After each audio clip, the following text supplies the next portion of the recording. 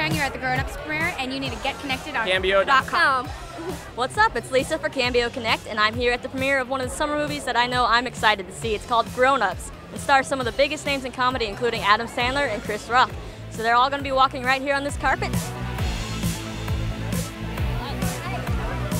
What's your favorite part of the whole overall experience of this movie? the people, the people I, I, I got to work with, and their families.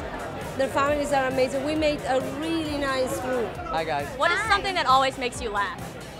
I don't know. I mean, I hate to say these guys, but I'm lucky that if I'm, uh, I, I can laugh at the text these guys give me. There's a lot of grown-ups and a lot of kids in this movie, but who was more grown up?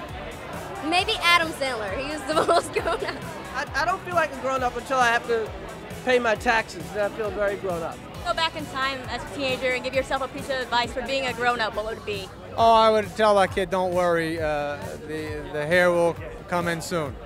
I would say um, brush your teeth, eat your vegetables, stuff like that.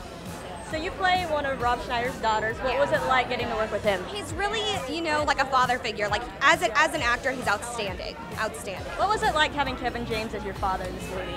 He is, he's kind of like a squishy teddy bear. I love him.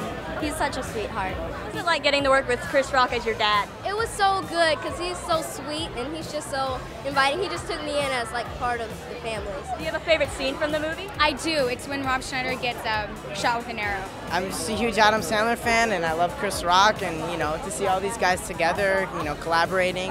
Uh, the movie looks pretty funny, so I'm excited. All right, everybody, that's it here for the Grown Ups premiere. I got to talk to some awesome people like Adam Sandler and Salma Hayek.